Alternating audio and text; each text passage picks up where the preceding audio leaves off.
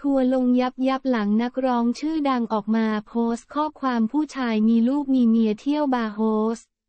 งานนี้โดนโยงถึงดราม่าผู้ใหญ่บ้านฟินแลนด์ ท่ามกลางกระแสข่าวร้อนแรงของหมอลำชื่อดังอย่างแพรวพราวแสงทองและสามีบิ๊กทิติวุฒิหรือ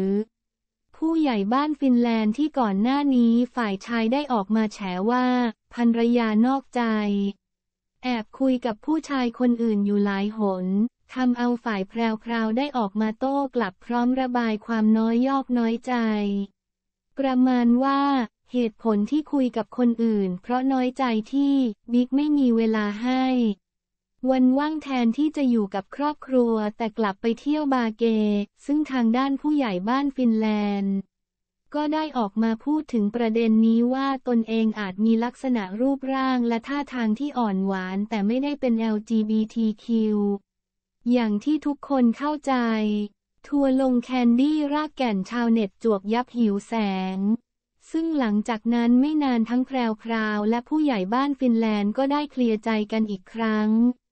พร้อมเดินหน้าเป็นครอบครัวต่อไป เป็นพ่อแม่ที่ดีของลูกสาวแต่ไม่ได้กลับมาในฐานะสามีภรรยา แต่อย่างใด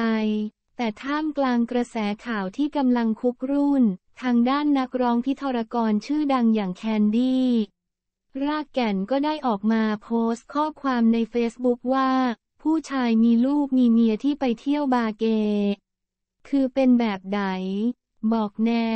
งานนี้เจ้าตัวโดนทัวร์ลงแบบยับยับเนื่องจากถูกจับโยงข้อความดังกล่าวกับข่าวของ แพรวพราวผู้ใหญ่บ้านฟินแลนด์ และชาวเน็ตมองว่าการกระทำนี้เปรียบเสมือนการหิวแสง แต่ล่าสุดแคนดี้ก็ได้ออกมาโสภัยชี้แจงประเด็นนี้ดังกล่าวว่า ตนยืนยันไม่ได้พูดถึงอีกฝ่ายเป็นแค่การโพสต์เฉยๆ แต่นักข่าวก็จับไปทำข่าวเอง โดยมีข้อความว่า ถามซื่อๆกะเป็นข่าว แค่ถามในเพจเพราะอยากรู้ฟิล ไม่ได้พูดถึงบิ๊ก เพราะรู้ว่าน้องไม่ได้ไปเที่ยวเอง พาคนในวงไป ไม่ได้หิวแสงแต่บังเอิญที่พี่สื่อเอาไปทำข่าวต่อ ปัดโทษ555 ถามตั้งหลายคำถามเป็นข่าวคำถามเดียว แต่ก็คงถามต่อไปแหละ